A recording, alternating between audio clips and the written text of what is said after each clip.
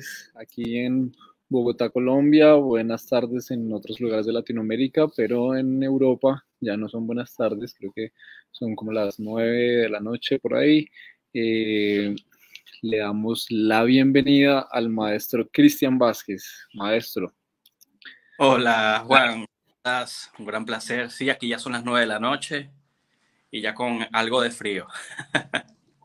Qué genial. Bueno, muy poca eh, introducción debo dar de un maestro tan querido y tan conocido obviamente en Latinoamérica, pero eh, sí es posible que nos cuentes brevemente un poquito de ti, de tu trayectoria. Sí, bueno, soy director venezolano, violinista, toqué por muchos años en la Orquesta Sinfónica Simón Bolívar de Venezuela. Comencé mi carrera como director en el año 2009. Eh, fui titular de la Orquesta Sinfónica Teresa Carreño de Venezuela del año 2010 al 2017. También fui director de la Orquesta Sinfónica de Stavanger en Noruega del 2013 al 2019. Eh, nada, y actualmente estudio freelance, donde me inviten, voy a con gusto a hacer música. Bueno, y eso, eso es, es algo muy, muy breve, ¿no? Muy corto. Claro, me imagino todo lo extenso que debe ser tu carrera. Bueno, este video que acabamos de ver, qué bonito, ¿con qué orquesta fue? Eso fue con la Orquesta Sinfónica de Galicia, en España. Mm, Creo que fue en el 2014, por ahí, 15. Usaba yo ya el, el pelo largo, ya no, ya. sí, veíamos. ¿Cómo, ¿Cómo, van cambiando los looks? Hay que hacer una, un recuento de todos los looks desde cuando iniciaste. Exactamente. Qué chévere. Bueno, vamos a ir un poquito al punto porque el tiempo en televisión es muy corto. Entonces, eh, un poquito de, cómo llegaste a la dirección, ya que estábamos hablando de los looks. Eh, hagamos esa historia de eh, cuál fue el primer look hablando de, de dirección. ¿Cómo, ¿Cómo iniciaste la dirección? Sí, yo inicié en mi pueblo, en San Sebastián de los Reyes, en Venezuela. Eh, yo era el concertino de la orquesta y teníamos un concierto de las fiestas patronales que se, que se tocan en los pueblos. Y ese, y ese día era, íbamos a tocar una misa en la iglesia mayor. Yo tenía que alrededor de 15 años. Y el maestro Johnny Covide, que es el director de la orquesta, él me pregunta que si quiero dirigir el himno nacional. Y yo digo, bueno, ¿por qué no? Y me paro y como el himno nacional solamente un, dos, un, dos, y por allá hay un retardando que es a cuatro. Y wow, yo dirigí mi himno nacional y después de ahí me sentí, wow, súper, súper emocionado y agradable con, con esa sensación de, de dirigir la orquesta. Y así fue que comencé a dirigir poco a poco, después empezar a hacer seccionales de cuerda, seccionales de viento, y después, bueno, a los 17 años yo me voy a, Caracas, a la capital, a, estudiar en la universidad y también entro a la Orquesta Sinfónica Simón Bolívar de Venezuela. Y cada vez que tenía un fin de semana libre, una semana libre, como mi pueblo queda a dos horas de Caracas, yo me iba a mi pueblo a dar clases de violín y, a, y a trabajar con las cuerdas y con la orquesta infantil. Y ya fue en el año 2006 que el maestro José Antonio Obreu me ve dirigiendo en un concierto que hice con la Orquesta de San Sebastián en Caracas. Y después de ese concierto, el maestro Obreo me, me dice que, bueno, que vamos a empezar a ver clases juntos. Eso, eso fue uno de los días más, más bonitos y más espectaculares que, que, recuerdo, ¿no? Porque uno de mis sueños era poder ver clase con él y se cumplió. Y así fue que comencé a dirigir más seguido y alternaba la dirección con la orquesta. Y ya en el 2009 tuve que dedicarme a la dirección y, y, tuve que abandonar la orquesta. Como violinista, claro. Claro que sí. ¿Cuál, ¿Cuál fue uno de esos aprendizajes como más impactantes o importantes que tuviste del maestro Abreu? Yo creo que eh, la disciplina, e, el amor por los niños. Él creía mucho en los niños. Eh, una cosa, por ejemplo, recuerdo cuando se hizo el Festival de Salzburgo, en el 2015 creo que fue que la Orquesta Nacional Infantil de Venezuela tocó la primera sinfonía de Mahler con Simon Rattle, niños de entre 8 y 13 años y tocaron esa cosa una sinfonía como si fuese unos adultos, ¿no?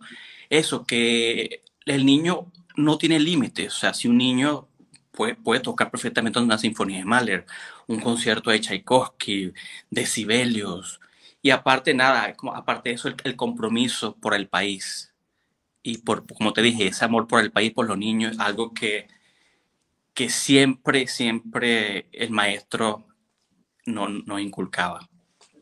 Bueno, no me, me impresiona, no, me impresiona porque pensé que me ibas a, contestar algo de dirección, eh, pero es bastante mm, diciente el hecho de que la lección más importante haya sido humana. Y eso pues dice muchísimo eh, del, claro. del maestro Abreu, del sistema, de cómo ha sido todo. Sí, porque bueno, en la, parte técnica, bueno, él nos mandaba, ya cuando venimos a la parte técnica, todas las clases eran, tenía que ser de memoria, o sea, el score de memoria, eh, uno iba a su oficina y él, bueno, al principio te ponía una grabación y tú tenías que dirigir sin score y dar todas las entradas. Hay, había momentos que era sin grabación y uno tenía que cantar las voces más importantes y dar las entradas. Entonces, si había una entrada que tú no dabas, hey, te faltó la entrada de clarinete o te faltó la entrada, no sé, de los violines, ¿no? es una persona que, por ejemplo, en mi caso, si, yo tenía un concierto importante con la Orquesta Sinfónica Simón Bolívar como director, él me llamaba a las 7 de la mañana para ver si estaba estudiando, por ejemplo. Y a veces terminamos de clase a las 12 de la noche viendo los videos de mis ensayos para corregir y, y a las 7 ya me estaba llamando, ¿sabes? Es mm. una, una persona que tenía demasiados compromisos, muchas cosas en su cabeza, pero se ocupaba de sus alumnos, así sean cinco minutos al día. Tremendo.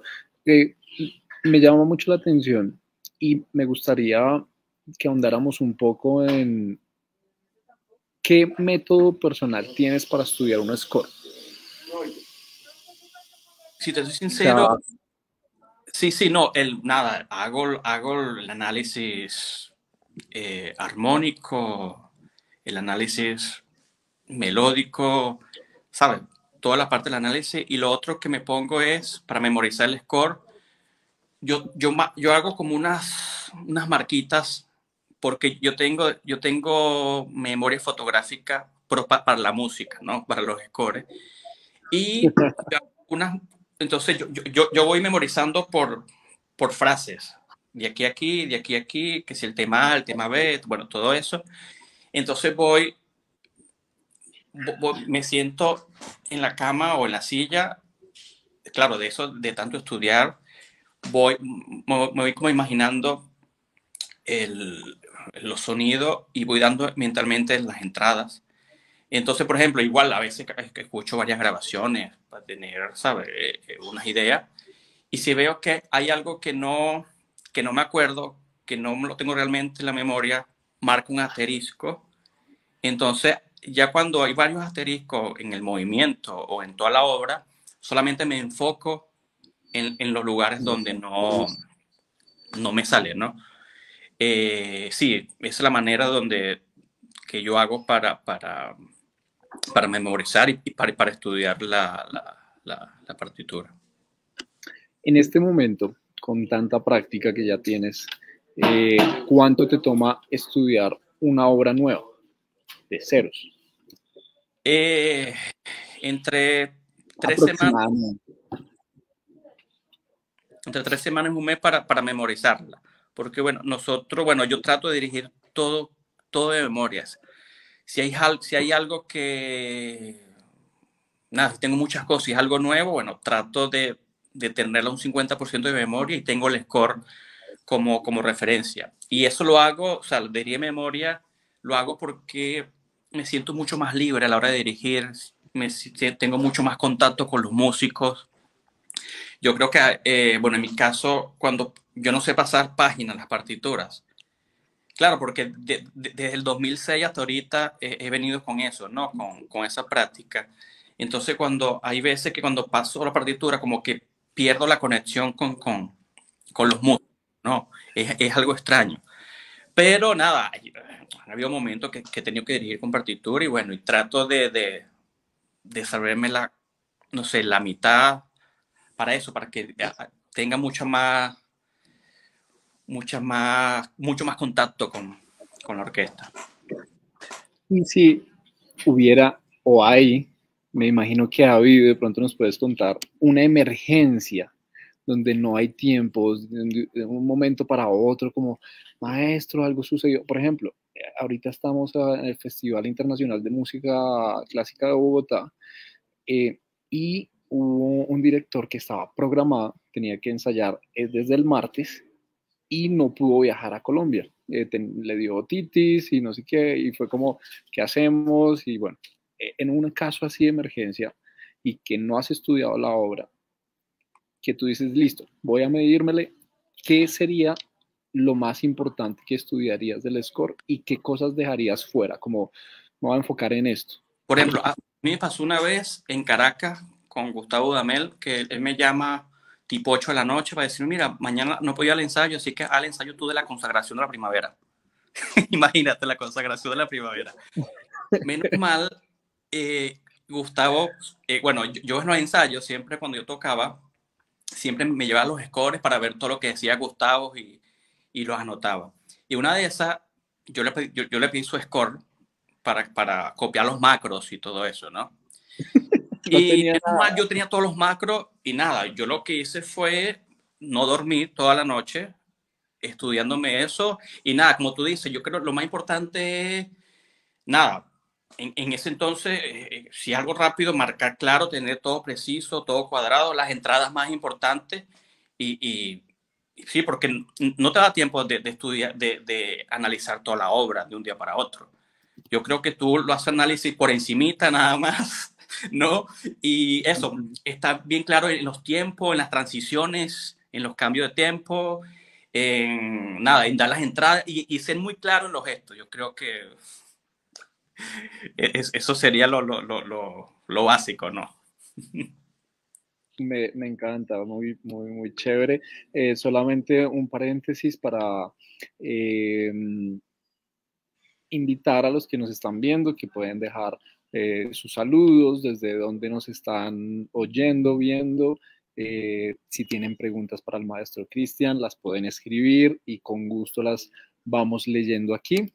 Y eh, bueno, entonces en este asunto, cuando decías, prefiero tener todo de memoria, la pregunta es, ¿haces ensayos de memoria? ¿Prefieres hacer los ensayos también de memoria? No, no, no. Los ensayos sí, sí, la, sí hago con la partitura. Claro, hay, momentos, por ejemplo, que he dirigido tanto una obra que ya me sé varios, varias letras o números grandes de memoria. Y, por ejemplo, estoy dirigiendo y paro y digo, bueno, vamos a letra A y aquí letra A pasa esto, esto y esto pero hacer un ensayo entero de sin partitura, no, aún, aún no. Siempre tengo, siempre tengo la partitura conmigo.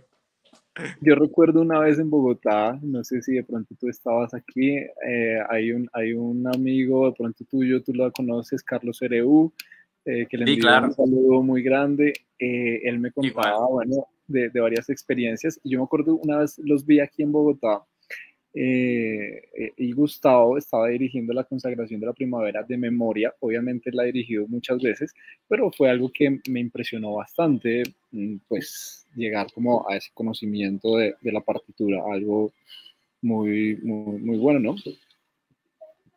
Sí, sí, así. Bueno, igual a mí me pasó aquí en Berlín, viendo un ensayo, igual de Gustavo Damé con la Filarmónica de Berlín, haciendo Till de Strauss, y él hizo todo el ensayo sin la partitura. O sea, la tenía, pero nunca la abrió. Y decía, no sé, en el compás 13, oboe, cuidado, aquí en el compás 15, o sea, una cosa, y yo quedé, y yo, wow, no, entonces se pasó. por, por, ¿Cómo crees que se llega allá? ¿Cómo, cómo lo, tú que, tú que has visto de pronto ese proceso un poco más de cerca? Mm. No, yo, yo creo que, eh, bueno, en el, caso, en el caso de Gustavo, que crecimos juntos, yo creo que, aparte que estudia muchísimo y, que a veces ha hecho esas obras muchísimo, él sí tiene una, una memoria fotográfica realmente, ¿no? O sea, yo tengo memoria fotográfica, pero no, no tanto, ¿no? Pero yo creo que eso, de, tanto eh, dirigirla y, y, reestudiarla, porque siempre cuando uno retoma una obra siempre descubre cosas nuevas, ¿no? Y yo creo que eso, de tanta hacerla y bueno, y aparte de tener una memoria fotográfica, eso, ayuda mucho. Ayuda demasiado, ayuda muchísimo. Eh, me interesaría si de pronto nos pudieras comentar cuáles han sido momentos difíciles en este camino de, de la dirección, que algún momento que te haya marcado.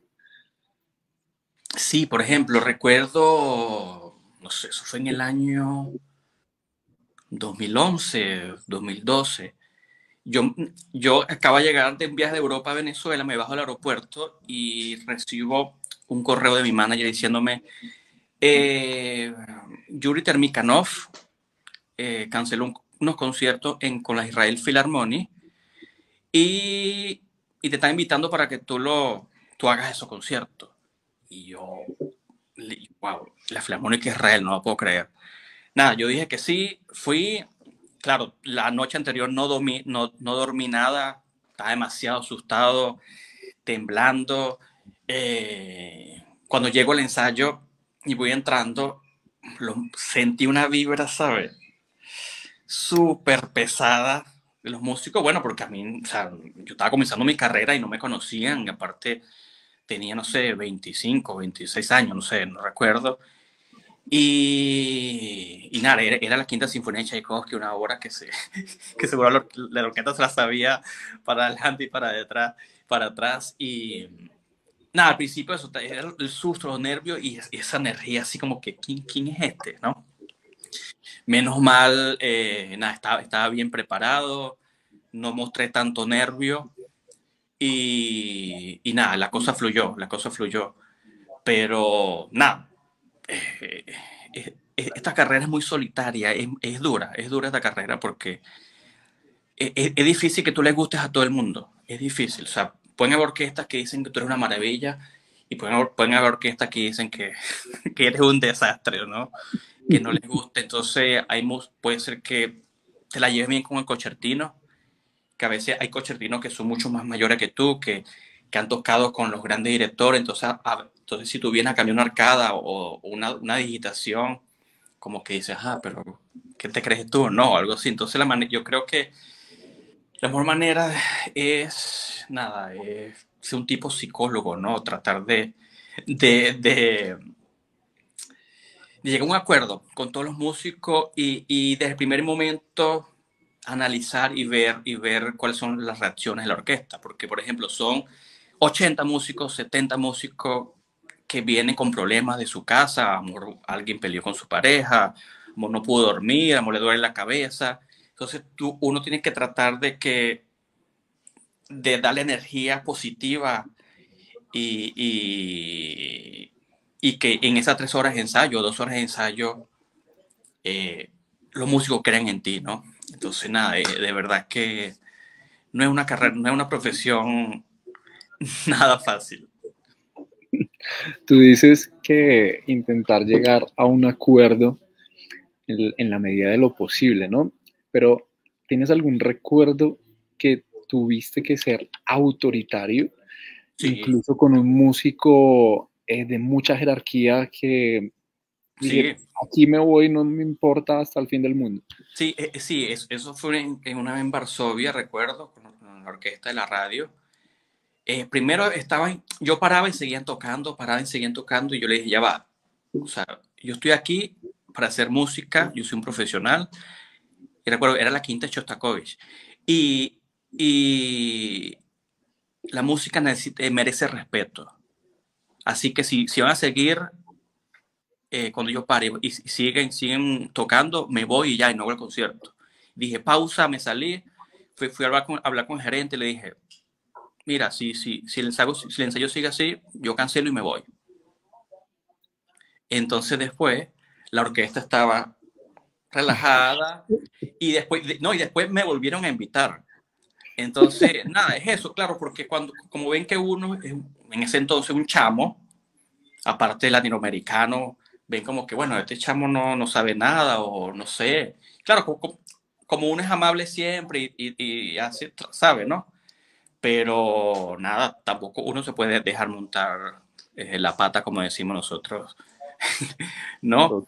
entonces también me pasó una vez con un cochertino que, nada, yo mandé cambiar una arcada porque no, no funcionaba y no me gustaba. Y yo soy violinista, ¿no? Y yo dije, no, yo quiero acercar, no, que no, que la hemos hecho siempre así, no, yo no la quiero así. O sea, yo, yo tenía mis razones porque, claro, por eso, si, si uno va, se va a enfrentar con el, por ejemplo, con el concertino o con un principal, por, por ejemplo, en este caso, por, una, por un cambio de arco, tú tienes que tener las bases bien claras. Tampoco vas a, a, pelear con él y, y, estando uno equivocado. Eso sí, eso sí no estaría bien. Sí, el, el, el camino de la dirección es muy complicado es muy difícil. Creo que eh, han habido muchos directores que no han llegado a término, por decirlo así. Incluso yo me imagino que tú durante tu carrera posiblemente, ¿no? Eh, tuviste momentos en los que, ¿será que sí, es lo mío, no es lo mío? Tal vez a esta parte está muy difícil, como que no se dan las cosas, pero ¿cómo, cómo puede alguien joven eh, que de pronto no está en, digamos, en las condiciones del sistema, por ejemplo, que había una gran infraestructura de orquestas para dirigir, etcétera, sino de pronto está en otro, en otro país donde es difícil, tiene unas direcciones de vez en cuando, pero ama la dirección. Pero ¿cómo uno podría darse cuenta, sea cual sea el contexto, de que la dirección sí es lo suyo o no es lo suyo? Hay algo ahí, eh, ¿cómo, ¿cómo decir, no, ya no más, o voy a seguir, o, o, la recomendación sería, siempre sigue. Y por ejemplo, eh, antes de responderte, digo en mi caso, hubo un momento en mi carrera, bueno, ha habido momentos todavía que, que a veces digo, ¿esto será lo mío? ¿Será que sigo? ¿Será que me pongo a estudiar otra cosa? Es, como te dije, es que es difícil que tú le gustes a todo el mundo. Por ejemplo, puede ser que muchas orquestas que te reinvitan, pero hay orquestas que vas una vez y, y no, no vuelves, ¿no? Entonces tú dices, eh, ¿será que, que, que, abandono y no sé, me pongo a dar clases o, o, estudio otra carrera, ¿no? Pero si, si, pero si, si tú pones un balance, ¿no? Las cosas, las reinvitaciones, las cosas buenas que, que, que te hace sentir al parado en el podio y el feeling con la, con, con la mayoría de las orquestas es positivo. En mi caso, yo he dicho, no, no, tengo que seguir, tengo que seguir, bueno, hay muchas cosas que hay que mejorar. Entonces, nada, eh, auto evaluarse porque, bueno, seguro uno comete, uno es humano, comete un error, entonces ver los videos y, ver, wow, esto lo hice, no, esto estuvo mal, esto no puede ser. Entonces tratar eso de, de, de siempre autoevaluarse y, y mejorando. Uno puede decir, bueno, aquí no me invitaron porque amor por esto, por esto y por esto, entonces ya uno sabe que para la próxima orquesta tratar de, ir con, con, otra manera de ensayar, por ejemplo, puede ser que no, que no le gustó, o una manera de marcar algún compás, no sé, o alguna indicación. Pero, nada, yo creo que si tú amas la dirección y tu pasión es la dirección y, eso te llena y eso te hace feliz, nada, eh, hay, que luchar por eso, hay que luchar por eso. Yo sé que nosotros somos muy afortunados de, bueno, en mi caso, de haber, haberme formado en el sistema. Yo he hecho todo, todo lo, todo lo que he hecho lo, lo, hice en el sistema, no, no, no tuve que venirme a Europa a estudiar, pero eso fue porque tenemos en cada, en cada pueblo, en cada estado, en cada ciudad, tenemos orquesta infantil, preinfantil, sinfónica, juvenil, profesional. Entonces, nada, nuestro instrumento como director de la orquesta. Y yo recomiendo a, a esos jóvenes que no tienen la oportunidad de dirigir orquesta, es que, nada, que hablen con sus amigos, eh, hagan un cuarteto, pongan un piano, un cuarteto de cuerda, un quinteto de cuerda, un piano para que haga la parte de los vientos, o si no, si, tiene, o, que haga una orquesta de cámara, o sea, donde estén un instrumento de, cada, de, de, la orquesta, ¿no? Y, y, haga unos ensayos, no sé, una, dos, tres veces a la semana y es, eso puede ser una, solución. Yo recuerdo que cuando yo comencé a dirigir con, con mis amigos de la, de la Bolívar, formamos una, una orquesta de cuerdas donde hacíamos los, eh, los conciertos grosos, hacíamos Vivaldi, Corelli, Albinoni. Y entonces nosotros ensayamos y hacíamos nuestro concierto de vez en cuando en una iglesia o, en una escuela, ¿sabes? Entonces yo creo que es una manera de, también de, de, mantenerse activo. Y nada, y grabar, es importante, grabarse siempre de frente para ver los errores y mostrarle ese video a algún profesor, ¿no? Y después, bueno, o mandarlo, no sé, a algún concurso y que eso, eso también ayuda mucho, ¿no? Los concursos. ¿Cómo haces tú y cómo le recomendarías a alguien con experiencia eh, o, que está recién graduado, pero sobre todo a, a personas, directores con experiencia, a seguir mejorando su gesto? ¿cómo se lograría? Digamos que ya tenemos una que es grabarse mucho eh, y verse, ¿no? ¿Cómo, cómo más? Yo creo que eh, aparte de eso, mostrarle esos videos a, a, personas, a directores que tú admires. O sea, yo creo que, nada, si tú quieres mejorar y quieres tener algún feedback, es, solamente le envías el, el, video, no sé, al director que tú admires o que tengas confianza, o si no, igual le escribas a cualquier director. Y si, si el director está abierto a ayudarte, lo ve y te puede dar ciertas cierto indicaciones, ¿no? Yo creo que es, es una manera que, que, ayuda mucho. Yo creo que, claro, también ahí depende del ego del director, porque también hay directores que tienen el ego demasiado grande, entonces a veces dicen, yo mandarle un video a alguien para que me corrija, no, eso jamás, ¿sabes? Entonces, no, ya, ya queda de parte de cada quien, sí, sí, nada, sí. si quieren que una persona lea su opinión, pues. Ahí, ahí quiero hacer una acotación a, o una cita, una frase que se maneja mucho en el mundo del, de la empresa, del liderazgo, y es el que deja de aprender o el que deja de crecer, deja de liderar y nuestra profesión como directores es de absoluto liderazgo 100%. Solamente como para dejarlo ahí eh, en, el momento, vamos a mirar si de pronto hay algún comentario que vayamos a leer eh, desde la Academia Latinoamericana de Dirección. Un afectuoso saludo desde la Argentina a mis colegas de Venezuela y Colombia. el maestro Sebastiano de Felipe un afectuoso saludo desde Argentina, ok, el que acabamos de leer, Joao Fernando Paluán eh, dice, ¿y cuando hace audiciones y el Espala no acepta uno o otro violinista que han sido aprobados? Esta es la pregunta, no la entiendo muy bien. Yo tampoco. si,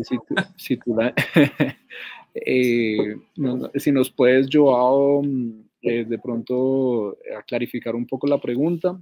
Eh, Jorge nos escribe un saludo caluroso desde Panamá y Claudio Cohen, saludos desde Brasil. Creo que esos son los comentarios que tenemos. Les invitamos a seguirnos escribiendo desde donde nos están viendo y dejar sus preguntas. Eh, tú, tú, hablabas, bueno, aprovechando este espacio de, las, de los saludos y las preguntas al maestro Sebastiano, un cordial saludo también. Eh, qué bueno que estés acá. Y tú hablabas acerca de, que eres auténtico eh, que intentas ser auténtico con, las orquestas donde, donde diriges. ¿Y mm, qué es ser auténtico para ti? O sea, ¿cómo, cómo consideras que eres tú ese auténtico? Uno a veces como director y como músico es difícil ser auténtico, ¿no? En tu caso, ¿cómo, lo, cómo logras ser tú? Sí, por ejemplo, eh, ¿cómo te digo? Primero estar bien preparado y estar muy claro en lo que quieres. Porque hay veces que, por ejemplo, pasan los jóvenes directores que se estudian la obra con una grabación en la mente, una grabación en la mente, y cuando, cuando van a ensayar, o sea, tienen la versión de otra persona, por ejemplo. Y ahí tú no eres auténtico, ¿no? Yo creo que la mejor manera es, bueno, por supuesto, en mi caso yo, voy a tener influencia de, por ejemplo, de Gustavo Damé, porque crecí con él como violinista y aparte vimos clases con el mismo maestro, ¿no? O sea, hay algunas cosas que tengo, pero trato, por ejemplo, en, lo personal, ya, ya con el tiempo, ya yo, yo siento que he logrado un gesto más, más personal eh, a la hora de ensayar, de tratar a los músicos, por ejemplo. Eh, yo no soy un director de que, que están los músicos por un lado y el director por otro. Yo, yo hago sentir a la orquesta como si yo fuese un miembro más de la orquesta, ¿sabes? Entonces es eso, eh, el trato hacia los músicos, la manera de ensayar, si algo, algo no está bien, se lo hago saber, pero de una manera educada, por ejemplo. O sea, eh, eh, es, es, algo que, que, nada, que me nace hacerlo y, y así sí yo, ¿no? Claro, es, es, es, uno lo va, lo va descubriendo con el tiempo, con los años, cuando empiezas a dirigir, a trabajar con diferentes orquestas en el mundo, ya tú vas encontrando eso. Claro, al inicio, cuando tú comienzas, nada, tú tratas, tú tienes a alguien y tú tratas de, de dirigir parecido a, tu ídolo, ¿no? Y eso, me pasó muchísimo y me decía, a veces me decía, no, tiene muchos gestos de Gustavo, tiene muchos gestos a veces de Simon, porque Simon también trabajé con él cuando iba a Venezuela. Entonces, o, algunos gestos de Claudio Abado también, porque él estuvo mucho con nosotros y, y las personas que he tenido más, más contacto, ¿no? Al frente. Entonces, al inicio de tu carrera siempre te, te van a decir, nada, tienes muchos gestos de tal director. Y eso es bueno porque tú tienes a alguien ahí, ¿no? Y eso, como te dije hace rato, de tanto dirigir, de trabajar, ya tú vas encontrando ya tu, tu, tu propia gestualidad y, tu propia manera de, de, dirigir. Qué genial. Bueno, creo que eh, tenemos la pregunta aquí de Joao y es referente a las audiciones. Lo que creo que nos quiere decir es que qué tanto vale la, la, la, opinión o la palabra final del director, ¿sí? De, audiciones para cualquier tipo de instrumento, aunque él aquí aclara y especifica que es violinista. Sí, por ejemplo, es que depende, depende de la orquesta. Hay directores que son solamente director musical, también hay director que son director musical y artístico, ¿no? Que, se, que más realmente es el, que tiene la voz más fuerte, ¿no? Pero eh, hay orquestas que tienen un comité, ¿no? De los que no están todos los músicos hay una votación. ¿no? Eh, claro, el, el, director tiene, tiene voz y peso, pero también hay, hay que respetar la, la, la, la votación del, del, del, resto, ¿no? Yo creo que no era como antes, eh, la escuela vieja, que nada, el director era el que decía yo quiero este y listo, o no lo quiero y sale, ¿no? Ya los, los tiempos han cambiado eh, y bueno, para, para, eso también, bueno, aquí en Europa está el periodo de prueba. Si va a opcionar para Cochertino o, o, para, o para Tutti, ok, puede ser que entres, pero tiene, una, un, tiene un periodo de prueba de seis meses. Y en esos seis meses, si tú, si no rindes en la orquesta, por ejemplo, igual a, a ti te ponen a tocar con varias personas de la orquesta para ver cómo te desenvuelve a la hora de los ensayos, si eres rápido, de los conciertos. Y si, y si ven que eres bueno, bueno, se hace otra votación y, se habla de tu, eh, de tu, desempeño en la orquesta y, y, quedas. Si ven que, que, no funciona, que no encajas con la fila, eh, lamentablemente no, no va a quedar. Qué bueno. Tenemos otra pregunta de Weimar Arancibia. Un saludo a ambos maestros, maestro Vázquez. ¿Qué consejo daría a los jóvenes directores para lograr consolidar su carrera? sí. Eh, mira, yo creo que una de las maneras es los concursos. Los concursos ayudan muchísimo. Así no ganes, así no ganes. Solamente con, con estar dentro de los 20 o 10, depende del concurso, que, seleccione, por ejemplo, de 500 directores, fuiste seleccionado, así no pases de la primera ronda, ya, ya eso es un premio. Primero porque, o sea, se ven que, eres muy talentoso y que, que, que, tienes algo especial. Segundo, que ahí, ahí va a estar el jurado y el jurado va a ver a todos los candidatos y puede ser que uno de los jurados o de los managers que están viendo streaming o, o, estén en la sala viendo el concurso, le haya gustado tú y digan, bueno, no, este chamo tiene algo especial o, o esta, esta, joven tiene algo especial. Eh, vamos a invitarlo para, para, para, que dirija la orquesta. O un agente una, una, de una, no sé, un agente diga, sí, no sé, tiene algo, me gusta, y, te, y te, y te, te contrate, ¿no? Yo creo que eso, eso es una de las maneras que, que ayuda, ¿no? A que el mundo de este mundo de la elección puedas eh, lograr algo, ¿no? Lo otro es, nada, hacer videos, montarlo en YouTube y nada, enviarlos a, directores y si los directores les gusta, nada, tratar de que, de que vayas a los ensayos o ver clases con, con, esa persona. Yo creo que ahorita con, con, con la tecnología es mucho más fácil que antes, ¿no? Claro que sí. Eh, me, me, hiciste acordar eh, que días compartía con alguien acerca de las audiciones y una de las conclusiones fue, eh, es importante que acumules nos o no. ¿Cuántas veces te han dicho que no? Esa cantidad de veces que te han dicho que no es la cantidad más cerca que estás de un sí. Exactamente, es así, es así. Totalmente de acuerdo. Andrés Valdés nos dice, saludos desde España. Maestro, ¿qué le parece estudiar la dirección delante del espejo? Por ejemplo, eh, honestamente, yo no estudio delante del espejo. No sé, al principio lo hacía, pero lo dejé hacer, no sé, no, no, no me gusta. Lo único que, si no, no, yo en mi caso lo que hago es solo, lo, hago los ejercicios y dirijo, pero sin ver en el espejo. Claro, hay, hay, personas que sí, que sí lo hacen para ver si la técnica, si sube los hombros, si, si tiene los brazos muy atrás. O...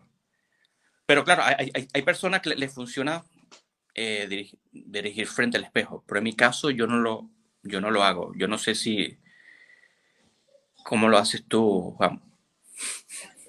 Bueno, yo, yo en, un principio, sobre todo cuando estaba eh, estudiante, recomendaban mucho el espejo.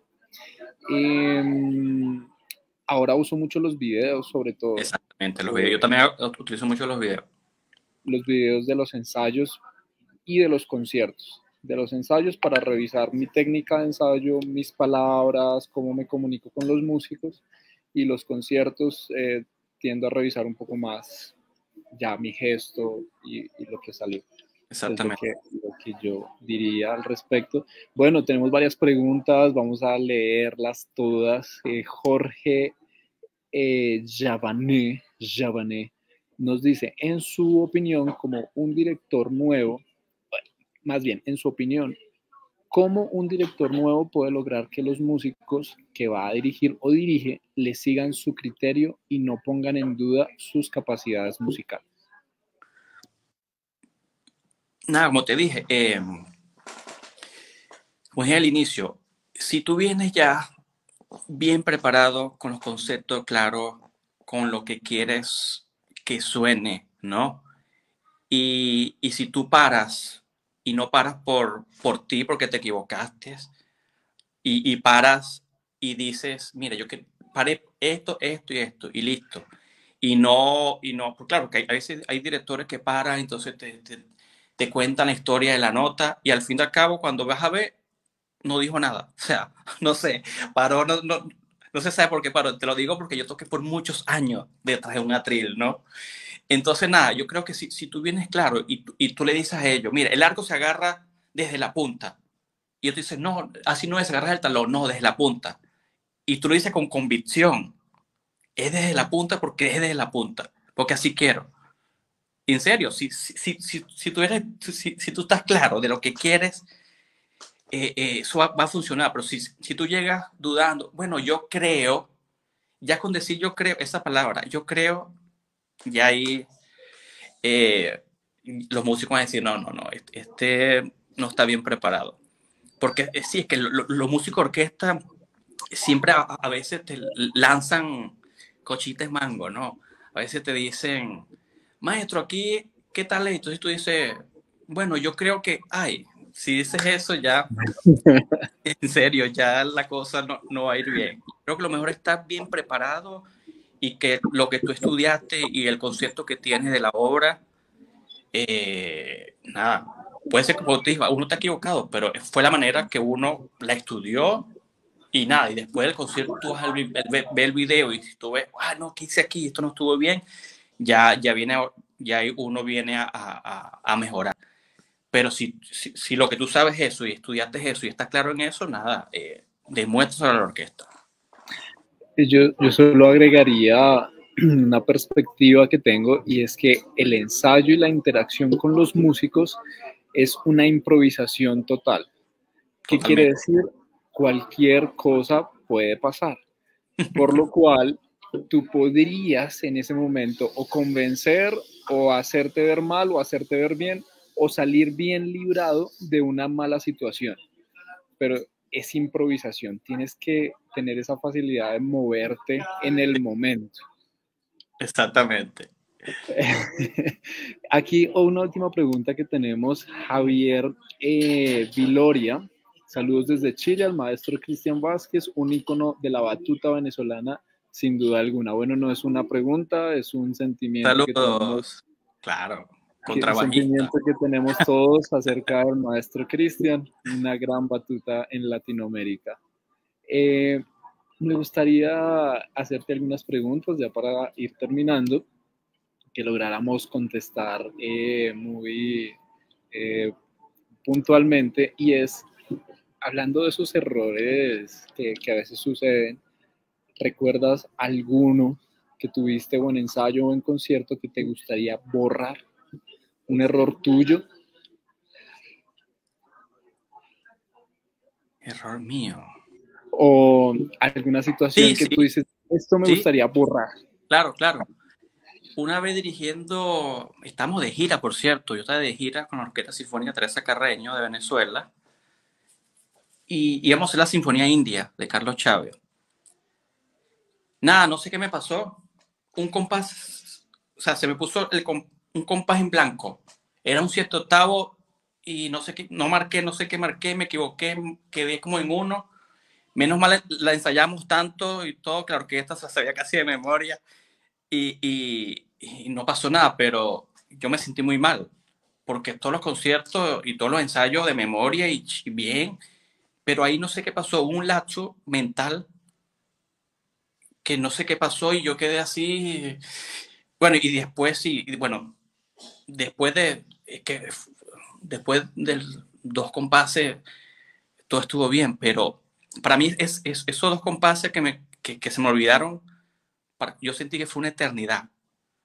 O sea, fue, fue algo que, que me sentí súper mal y, y, salí al concierto todo molesto. Y yo creo que es, esos dos compases hay que borrarlo. Ay, Dios mío. Bueno, eh, una sección un poquito más divertida que tengo aquí. Eh, y bueno, son preguntas más cortas. Orquesta favorita tuya que se te cumplió el sueño de dirigir? Wow. Sinfónica Bolívar de Venezuela. Montaje que te gustaría repetir 10 veces más. La segunda sinfonía de Mahler. Resurrection. Auditorio al que quieres volver. Al Filarmonía de Berlín. Tremendo solista con el cual te gustaría trabajar y, qué obra. ¿Pero solista nuevo o repetido? Mm, nuevo. Yo creo que es Marta Argerich y el Tchaikovsky. ¡Wow! Tremendo. Eh, orquesta que es un sueño tuyo que te gustaría dirigir y que no has dirigido? La Filarmónica de Berlín. Tremendo. Y bueno, una, una, serie de preguntas un poquito más extramusicales. Eh, ¿Película o serie favorita? Eh, Vikingo. Vikings, Vikingos, serie, ¿cierto? Comparto lo mismo. Es genial. recomendada para todos. Eh, ¿Banda o cantante favorito? Banda o cantante favorito. Me, gusta mucho Ricardo Montaner o Luis Miguel. ¿Canción favorita? Eh, Bésame la boca. chévere, chévere, bonita. Eh, ¿Te escuchas cuando no escuchas música clásica? Nada, escucho salsa, merengue, bachata, eh, reggaetón no mucho. ¿Hobby o pasatiempo? Nada, eh, hobby o pasatiempo. Leer, leer cosas, informaciones en internet de cualquier cosa. Y por último, comida favorita. Caraotas negras con arepa frita y queso. Queso blanco así rayado. una comida muy típica venezolana para los que no eh, están familiarizados con el término. Maestro, ha sido un tiempo muy bueno, como dije al principio, el tiempo en televisión es muy corto, eh, pero muy sabroso. De verdad que muchas gracias, gracias a todos por los que nos acompañaron, dejaron sus saludos y nos estaremos viendo. Bueno, quiero agradecer a la Academia Latinoamericana de Dirección por su gestión, por invitarnos eh, a ser parte de esta conversación y ayudarnos a construir eh, nuestras carreras en torno a la dirección de orquesta. Maestro, muchas gracias. Gracias a todos. Que estén muy bien. Un fuerte abrazo. Un abrazo.